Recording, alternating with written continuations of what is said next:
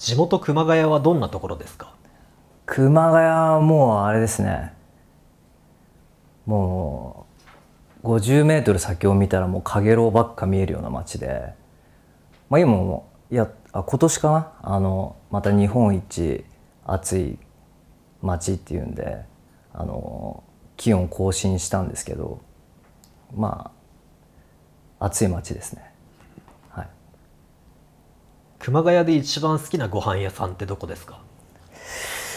熊谷。なんか当時は、まあ、東京に来る前とかだとあのーまあラーメン屋があるんですけどそれよかろうっていうラーメン屋があって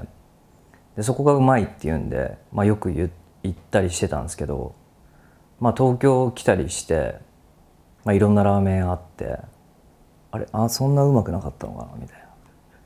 思いますね今。